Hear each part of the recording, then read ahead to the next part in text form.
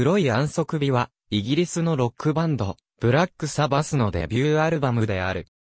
1970年2月13日の金曜日に出され、しばしば初期のヘビメタルのアルバムの一つに数えられる。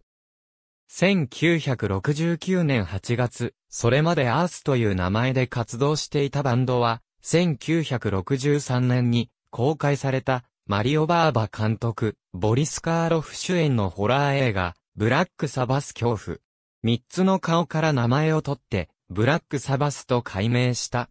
同じ頃、初期の楽曲を集めたデモテープを制作し、配布した。1969年12月、ブラックサバスはデビューシングルエビル・ウーマンを発表。直後にこのアルバムの残り7曲の制作に取り掛かる。ギタリストであるトニー・アヨミによれば、俺たちに与えられた時間は2日だったので、レコーディングに1日を使って、もう1日はミキシングに当てることにした。レコーディングはすべてライブ。オジーの歌も同時に撮ったよ。彼がブースに入ったら録音開始。ほとんど撮り直しはなかったね。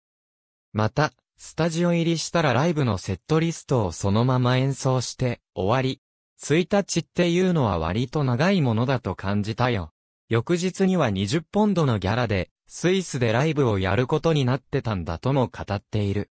音楽、歌詞の両面で見ても、このアルバムは、ダークなアルバムと考えられてきた。ブラックサバスというアルバムのリードトラックは威圧感や恐怖感を煽るためのエレキギターでゆっくりと奏でられる三千音が元になっている。歌詞におけるフィギュアインブラックは、サタンのことを示していると考えられている。似たようなことに、NIB という歌においても、歌詞が、ルシファーの視点から書かれている。一般に思われていることとは別に、この歌は、ネイティビティインブラックの略ではない。トニー・アイオミはいくつかのインタビューの中で、バンドのドラマーである、ビルワードのペン先のようなヤギヒゲをネタにしただけだと、話している。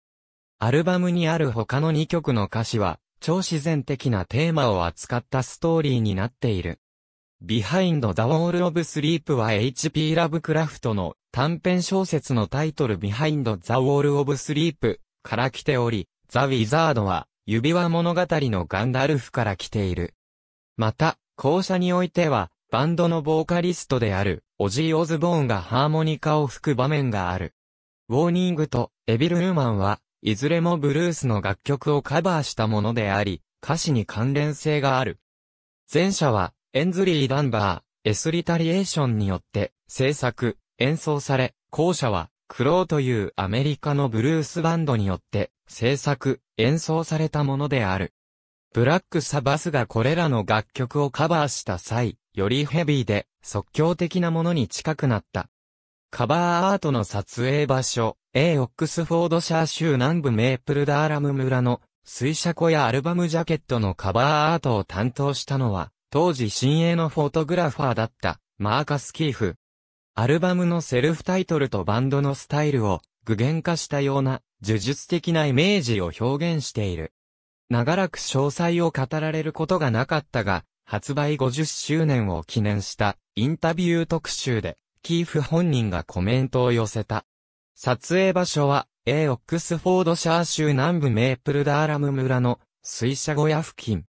ジャケットに写っている被写体モデルの名は、ルイーザ・リビングストンという女性で、ルイーザ本人もコメントしている。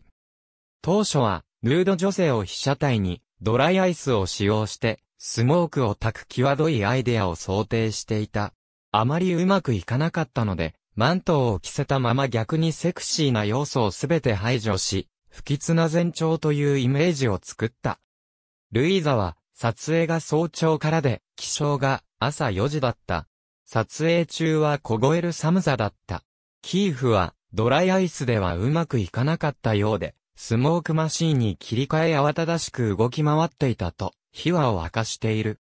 アルバムは、イギリスのチャートで8位を記録。アメリカでは1970年に、ワーナーブラザースレコードからリリースされ、ビルボードで23位を記録し、1年間もチャートに、残っては100万枚のセールスを記録した。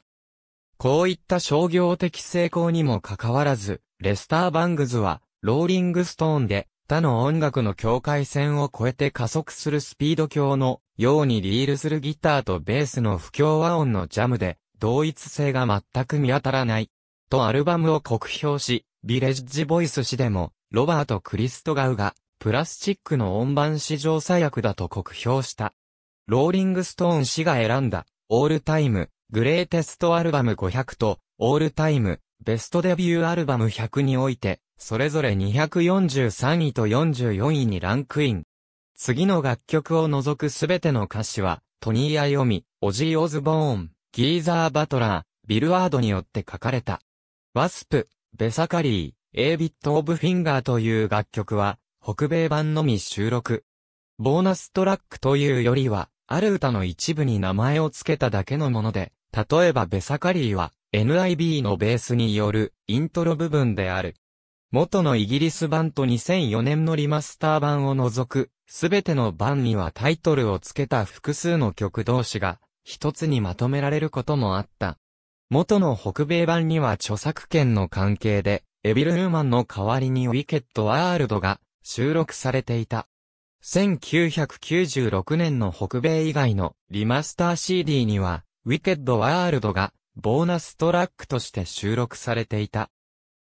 A サイド黒い安息日、 Black Sabbath 6時16分魔法使い The Wizard 4時24分眠りの帳の後に、 Behind the Wall of Sleep 3時38分、NIB NIB6 時6分。B サイド魔女よ、誘惑するなかれ Evil Woman 3時25分、眠れる村。 Sleeping Village 3時46分、警告 Warning。10時32分。A サイド黒い、安息日、 Black Sabbath 6時20分。魔法使い The Wizard、4時22分ワスプ、眠りの帳の後に、NIB、 Wasp、ビハインド・ザ・オール・オブ・スリープ、ベサカリー、NIB9 時44分 B サイド悪魔の世界、 Wicked World 4時30分 A Bit of Finger、眠れる村、警告、A ビット・オブ・フィンガー、スリーピング・ビレッジ、ウォーニング14時32分 CD 黒い安息日、 Black Sabbath 6時16分魔法使い The Wizard 4時18分 Wasp、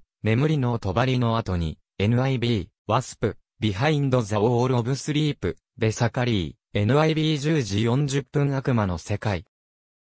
Wicked World 4時42分 A Bit of Finger、眠れる村、警告、A ビット・オブ・フィンガー、スリーピング・ビレッジ、ウォーニング14時20分黒い安息日、 Black Sabbath 6時21分魔法使い The Wizard 4時24分眠りの帳の後に、 Behind the Wall of Sleep 3時37分、NIB NIB6 時7分魔女よ、誘惑するなかれ Evil Woman。3時25分、 Sleeping Village。3時46分、警告 Warning 10時32分悪魔の世界、 Wicked World 4時43分。黒い安息日、 Black Sabbath 6時19分魔法使い The Wizard 4時23分ワスプ、眠りの帳の後に、NIB、 Wasp、ビハインドザウォールオブスリープ、ベサカリー、NIB9 時44分悪魔の世界 Wicked World 4時47分 A Bit of Fingerー、眠れる村、